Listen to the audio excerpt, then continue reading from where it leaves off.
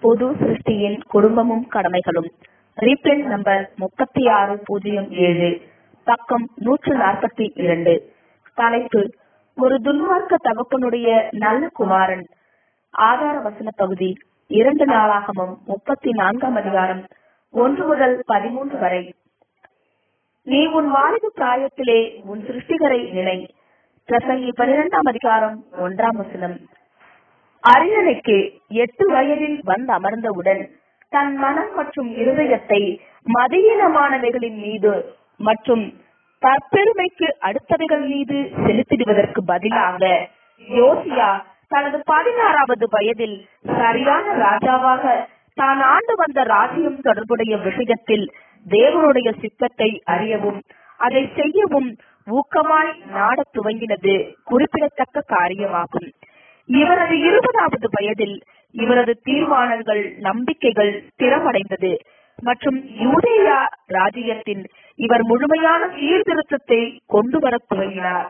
மற்றும் இதே சீர்திருத்தத்தை தன் ராஜ்யபாரத்திற்கும் தாண்டி மனாசே எப்ராயிம் சிமியோன் மற்றும் நப்தலியின் பாகங்களிலும் செய்தித்தார் விக்கிரகங்களையும் அதனோடு உள்ள மற்ற பல்வேறு உடைமைகளையும் அழித்து போட இவர் கட்டளையிட்டதோடு மாத்திரம் அல்லாமல் இவரே நேரில் சென்றும் இக்காரியங்களை மேற்பார்வையிட்டார். இதற்குரிய பொறுப்பினை இவர் ஒப்படைத்திருந்ததான அதிகாரிகளோடு கூட இவரும் விக்கிரகங்கள் முற்று முழுமையுமாக அழிக்கப்படுகின்றதா என்று நேரில் சென்று பார்வையிட்டார். இவரின் இந்த சீர்திருத்த வேலையை குறித்தும் வெற்றிலில் இவர் பாகாலின் பலிபீடத்தில் பாவலுடைய ஆசாரியர்களின் எலும்புகளை சுத்தரித்து போடுவது குறித்தும் பல வருடங்களுக்கு முன்னதாகவே தீர்க்க தரிசனம் உரைக்கப்பட்டிருந்தது. ஒன்று ராஜாக்கள் பதிமூன்றாம் அதிகாரம் ஒன்று முதல் மூன்று வசனங்கள் இரண்டு ராஜாக்கள் இருபத்தி மூன்றாம் அதிகாரம் பதினேழு முதல் பதினேழு வசனங்கள். யோசியாவின் மற்றும் யூத யுகத்தினுடைய மற்ற சீர்திருத்தவாதிகளுடைய செய்கைகளானது அதாவது பல்லாயிரம் பாகாலின் ஆசாரியர்களை வெட்டி போட வைத்திட்டதான எலியாவின் செய்கைகளானது அநேகம் உண்மையுள்ள கிறிஸ்தவர்களுடைய மனங்களை குழப்பத்திற்குள்ளாக்கி பொதுப்படையான அல்லது தனிப்பட்ட விஷயத்தில் வன்முறை செயல்களில் இறங்க ஏதுவாக்கிற்று. ஆனால் இது இந்த சுவிசேஷ யுகத்தினுடைய ஆவிக்கு முற்றிலும் எதிர்மாறானதாகும். இது விஷயத்தில் சரியான புரிந்து கொள்ளுதலை பெற்றுக் கொள்ளுவதற்கு யூத தேசமானது திவ்ய ஏற்பாட்டின்படி உலகத்தில் உள்ள தேவனுடைய நியாய தீர்ப்பினை அடையாளப்படுத்துகின்றதாய் இருப்பதை நாம் நினைவில் கொள்வது அவசியமாகும். நியாய பிரமாணத்தின் கீழ் இஸ்ரேலின் ஒவ்வொரு ராஜா மீதும் அந்த தேசத்தின் மீதும் தனிநபர்களின் மீதும் கூட சில விதங்களில் வன்மையாக விக்கிரக ஆராதனையை எதிர்ப்பதற்குரிய ஒரு குறிப்பிட்ட பொறுப்பு காணப்பட்டது. காரணம் அந்த ராஜ்யமானது தேவனையும் அவரது நீதியுள்ள ஆளுகையையும் அடையாளப்படுத்துகின்றதாய் இருப்பதை நாம் நினைவில் கொள்வது அவசியமாகும். யூத யுகத்தினுடைய முடிவில் மாம்சீக இஸ்ரேலர்கள் ஒரு ஜாதியாராக தெய்வீக தயவு நின்று அறுப்புண்டு போன போது மேற்கூறப்பட்டுள்ள விஷயங்களை நிர்வகிக்கத்தக்கதாக அந்த ஜனங்களுக்கு கொடுக்கப்பட்டதான அனைத்து பிரமாணங்களும் சட்டங்களும் முடிவிற்கு வந்தது. ரத்து செய்யப்பட்டது செல்லுபடியாகாமல் போனது. இதில் அவர்களை நோக்கி நமது கர்த்தர் உங்கள் வீடு உங்களுக்கு பாழாக்கி விடப்படும் என்று கூறினது போன்று ஆயிற்று. மத்திய இருபத்தி மூன்றாம் அதிகாரம் முப்பத்தி எட்டாம் வசனம். பெந்தகோஸ்தே நாளில் ஆவிக்குரிய இஸ்ரேலர்கள் ஏற்படுத்தப்பட்டதோடு கூட ஒரு புதிய உடன்படிக்கை ஒரு புதிய உறவு புதிய சட்ட திட்டங்கள் செயலாக்கத்தில் வந்தது.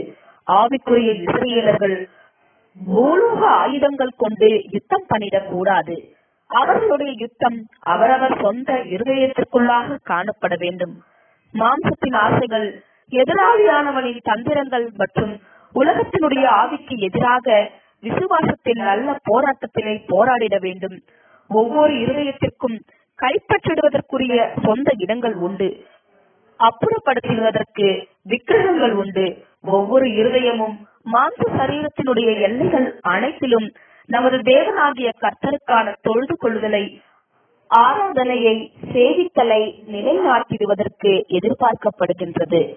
உலகத்தின் காரியங்களை பொறுத்தமட்டில் அவர்களோடு நமக்கு எந்த தொடர்பும் இல்லை என்று நமக்கு தெளிவாய் சுட்டி காண்பிக்கப்பட்டுள்ளது. நான் உலகத்தால் அல்லாதது போல அவர்களும் உலகத்தார் அல்ல.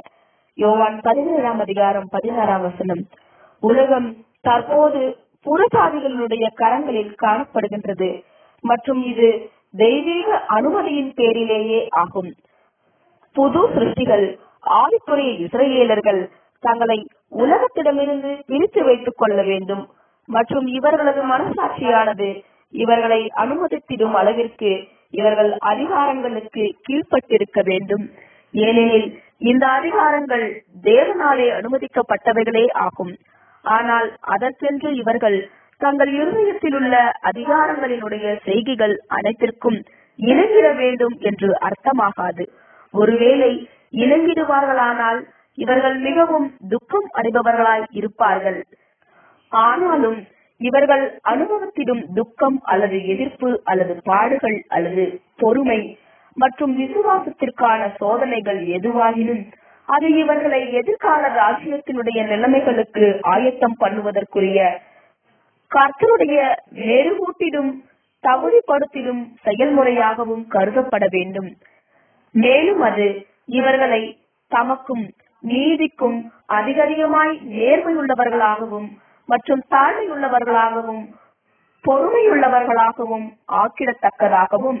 எதிர்காலத்தில் கர்த்தருடைய செம்மையான வழிகளில் உலகினை ஆசிர்வதிப்பதும் ஆளுகை செய்வதும் நியாய தீர்ப்பதும் சீர்தூக்கி விடுவதும் ஊக்குவிப்பதுமான மகா வேலைக்கு இவர்கள் நன்கு தகுதி அடைந்தவர்களாக காணப்படத்தக்கதாகவும் ஆக்கிடும் அவரது செயல்முறையாகவும் கருதப்பட வேண்டும்.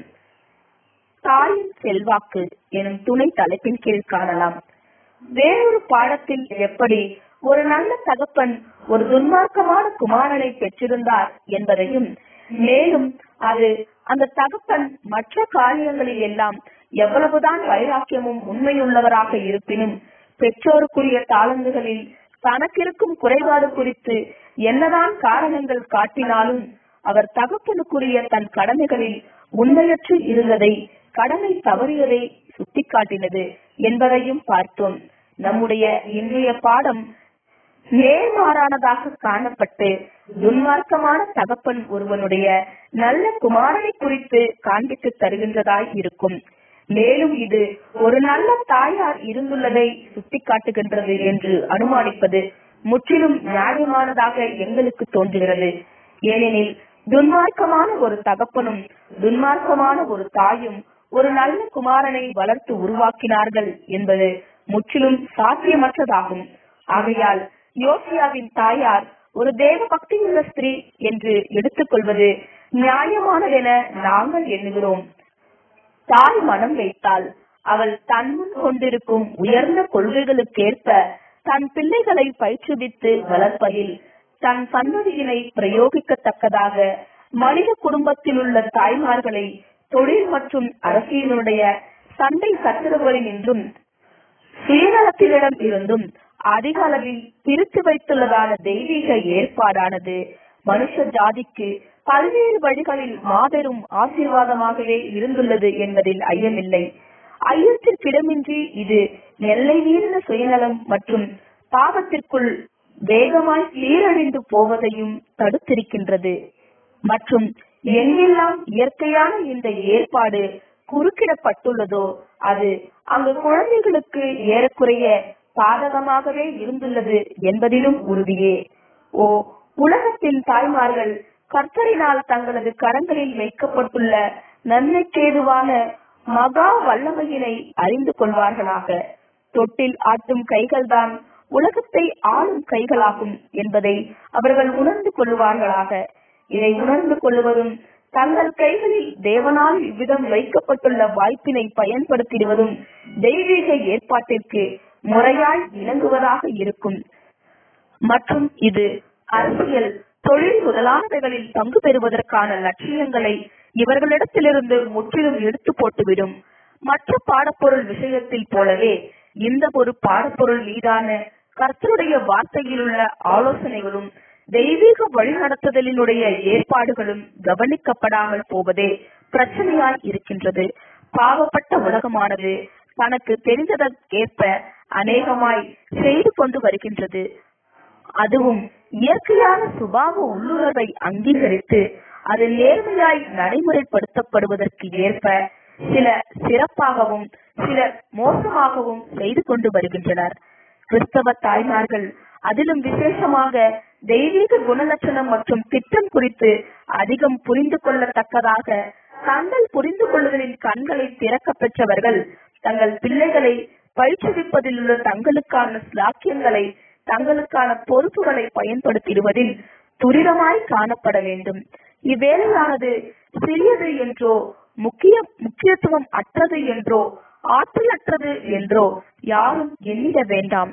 தேவனுக்கும் அவரது வார்த்தைகளுக்கும் தங்கள் பெற்றோர்களுக்கும் பொன்னான பிரமாணத்திற்கும் அதாவது தங்கள் விளையாட்டு நண்பர்கள் அயலார் அயலார்களிடத்தில் நடந்து கொள்ளும் விஷயத்தில் பொன்னான பிரமாணத்திற்கும் கீழ்ப்படியவும் மரியாதை கொண்டிருக்கவும் மற்றும் ஒழுங்காய் இருக்கவும் கட்டுப்பாடுகளுக்கு உட்பட்டு இருக்கவும் காலம் தவறாமல் இருக்கவும் ஒழுங்காக இருக்கவும் உண்மையாய் இருக்கவும் முறையாய் பயிற்றுவிக்கப்பட்டுள்ள ஒவ்வொரு குமாரனும் ஒவ்வொரு குமாரத்தையும் ஜீவியத்தில் அவன் மற்றும் அவளது சொந்த ஆசிர்வாதத்திற்கு ஆயத்தமாக்கப்பட்டவர்களாய் மாற்றம் இராமல் இன்னுமாக மற்ற சிறுவர்களுக்கும் சிறுமிகளுக்கும் புருஷருக்கும் ஸ்திரீக்கும் முன்மாதிரியாகவும் ஆசிர்வாதமாகவும் இருப்பதற்கும் கூட ஆயத்தமாய் இருப்பார்கள். இப்படியாக ஒவ்வொரு தாயினுடைய செல்வாக்கானது நாட்கள் செல்ல செல்ல விரிவடைகின்றது மற்றும் பெருகுகின்றது. ஒருவேளை இத்தகைய விரும்பத்தக்க செல்வாக்குகளானது குடும்ப வட்டாரத்தை தாண்டி வெளியே உள்ளவர்களுக்காய் செயல்படுத்தப்படவில்லை என்றாலும் குழந்தைகளை முறையே பயிற்றுவிப்பது என்பது குடும்பத்திற்கு மிகவும் அவசியமானதாகும். குடும்பத்தின் பொதுவான சமாதானத்திற்கும் சௌகரியத்திற்கும் அன்பிற்கும் மிகவும் அவசியமானதாகும். தகப்பன் குடும்பத்தின் தலைவர் என தன் பொறுப்பினை தட்டி கழிக்காதவராகவும் இவரோடு கூட உடன் வேலையாளாகவும் வாழ்க்கை துணையாகவும் தாயானவள் ஊக்கமாய் ஒத்துழைத்தாலும் குடும்பத்தின் தேவைகளை சந்திப்பதற்கென உழைக்கும் தகப்பன் குழந்தைகளுடன் அதிகம் தொடர்பில் இராததால் குழந்தைகளை பயிற்றுவிப்பதில் உள்ள பொறுப்பினுடைய பெரும்பகுதி தாய் மேலேயே காணப்படுகின்றது. ஒருவேளை தாயானவள் மாத்திரம் கிருபையின் பிள்ளையாக இருக்கும் பட்சத்தில் அவள் கணவன் அனுமதிக்கும் அளவுக்கு தக்கதாக இந்த முழு பொறுப்பும் அவள் தோள்கள் மீதே காணப்படும். மற்றும் அவளுக்கு இருக்கும் ஒரே உதவியும் வழிநடத்துதலும் கர்த்தர் அருளிடும் உதவியும் வழிநடத்துதலும் மாத்திரமே ஆகும். அந்தோ பரிதாபம். ஒழுங்கும் கட்டுப்பாடும் இல்லாத அநேக குடும்பங்கள் உண்மையில் குடும்பங்களே அல்ல. அன்பு மற்றும் செல்லம் காட்டுதலுக்குரிய தவறான அபிப்பிராயங்கள் உடைய அநேகம் பெற்றோர்கள் தேவனுக்கும் பெற்றோருக்கும் மற்றவர்களுடைய நலன்கள் உரிமைகளுக்குமான உரிய மரியாதை காட்டாத விதங்களில் பிள்ளைகள் வளருவதற்கு அனுமதித்து விடுகின்றனர். இதுவே உலகமெங்கிலும் வெளிப்படும் ஒழுங்கின்மையினுடைய அதிகரிப்பிற்கும் கட்டுப்பாடற்ற ஜீவியத்திற்குமான ரகசியமாகும். உண்மையில் ஆச்சரியம் என்னவெனில் விதிமுறைகளும் ஒழுங்கும் அன்பும் இரக்கமும் இல்லாத குடும்பங்களை உடைய உலகமானது அது இருக்க வேண்டிய மோசமான நிலைமையை காட்டிலும் இப்பொழுது குறைந்த மோசமான நிலைமையிலேயே காணப்படுகின்றது. உன் வாலிப பிராயத்தில் எனும் துணை தலைப்பின் கீழ் காணலாம். நம்முடைய பாடத்தினுடைய ஆதார வசனமானது ஒவ்வொரு குடும்பங்களிலும் முக்கியமானதாய் கருதப்பட வேண்டும். தன் சிருஷ்டிகளை நினைவு கூறுவதற்கும் மதிப்பதற்கும் கற்றுக்கொண்டுள்ள பிள்ளை தன் சொந்த அபூரணங்களை குறித்து இது எவ்வாறு வந்தது என்பது குறித்தும் தன் மீதும் உலகம் அனைத்தின் மீதும் காணப்படும் மரண தண்டனையானது பூமிக்குரிய வளங்கள் நம்பிக்கைகள் அனைத்தையும் அழித்து போட்டது என்பது குறித்தும் அறிந்து கொண்டுள்ள பிள்ளை சாபத்தினின்றுள்ள ரட்சிப்பை குறித்து செய்தியை ஏற்றுக்கொள்வதற்கும் தேவன் எப்படி தம்முடைய அன்பினால் இயேசுவை மாபெரும் மீட்பராக கொடுத்தருளியுள்ளார் என்பதையும் இவரது மரணம் பெற்றுத்தந்ததான விடுதலையானது மனித குடும்பத்தினுடைய ஒவ்வொரு அங்கத்தினர் மீதும் சீக்கிரமாய் கடந்து வரும் என்பதையும் ஏற்றுக்கொள்வதற்கும் ஆயத்தமாய் இருப்பான். தேவனுக்கு மரியாதை கொண்டிருப்பதன் இயல்பான விளைவுதான் பெற்றோருக்கு மரியாதை கொண்டிருப்பதாகும். இந்த பத்திரிகையினுடைய இதழாசிரியர் சகோதரர் ரசல் தன்னை குறித்து பதிவு செய்கின்றார். கிறிஸ்தவ பெற்றோர்களுக்கு பிறப்பதற்கும் கிறிஸ்தவ செல்வாக்கின் கீழ் வளர்க்கப்படுவதற்கும் உரிய நற்லாக்கியம் பெற்றவராய் இருந்தார். மற்றும் இப்படியாக தேவனுடைய வழிநடத்துதலினால் ஜீவியத்தின் ஆரம்ப காலங்களிலேயே கர்த்தருக்கு அர்ப்பணம் பண்ணிடுவதற்கான சாக்கியத்தினையும் ஆசீர்வாதத்தினையும் காணும்படிக்கு வழிநடத்தப்பட்டார். இப்படியாக அவர் தப்புவிக்கப்பட்டதான அநேகம் படுகொலிகளையும் கண்ணிகளையும் வேதனையான அனுபவங்களையும் மற்றும் இப்படியாக அவர் அடைந்திட்டதான மாபெரும் ஆசீர்வாதங்களையும் மிக தெளிவாய் அவரால் இப்பொழுது ஜீவியத்தை திரும்பி பார்க்கையில் காண முடிகிறது. தேவனுடைய கிருபையினால் பாவத்தினின்று விலகியோடி மாபெரும் ஜீவன் கொடுப்பவரை பற்றி பிடித்து அவர் கரத்தை உறுதியாய் பிடித்து அவர் அடிச்சுவட்டில் நடக்க நாளிடும் அனைவரின் மீதும் இதழாசிரியரின் அனுதாபங்கள் காணப்படுகின்றது. இத்தகையவர்கள் அனைவரோடு கூட இதழாசிரியர் களி கூறுகின்றார். எனினும் பொல்லாத நாட்கள் வரும் முன்னும் இளமை பருவத்திற்குரிய இந்த களியாட்டங்களில் மூழ்கி சிலர் கசப்பான அனுபவங்களை அனுபவிப்பதற்கு முன்னும் ஜீவியத்தினுடைய ஆரம்ப காலங்களிலேயே கர்த்தரை நாடி தேடுபவர்கள் மீது இதழாசிரியர் விசேஷமாய் அக்கறை கொண்டுள்ளார். இந்த பத்திரிகையினுடைய வாலிப வாசகர்கள் அனைவரிடத்திலும் அதிலும் விசேஷமாக தேவனுடைய அன்பு தங்கள் இருதயங்களை கட்டி இழுப்பதை உணர்ந்தவர்களாகவும் இந்த இழுக்கும் வல்லமைக்கு இணங்கி நம்முடைய ரட்சிப்பின் அதிபதியினுடைய அடிச்சுவடுகளில் அதாவது சுயத்தை வெறுத்தல் எனும் அடிச்சுவட்டில் சுயத்தை பலி செலுத்தல் எனும் அடிச்சுவட்டில் மகிமையின் மேல் மகிமைக்கு வழிநடத்துகின்ற அடிச்சுவட்டில் நடப்பதற்கென்று தங்களை முழுமையாய் அர்ப்பணம் பண்ணியுள்ளவர்களாகிய வாலிபர்கள் அனைவரிடத்திலும் நாம் ஆழமான அக்கறை கொண்டிருக்கின்றோம். அத்தகையவர்கள் அனைவருக்கும் நாம் கர்த்தருக்குள் உற்சாகமான வாழ்த்துதல்களை தெரிவிக்கின்றோம். ஏற்கனவே அடியெடுத்து நடந்து வந்துள்ள அடிகளுக்காய் பாராட்டு தெரிவிக்கின்றோம். மற்றும் இனிமேலும் அடியெடுத்து நடக்க வேண்டியவைகளுக்காய் வாழ்த்து சொல்லுகின்றோம். ஆமேன்.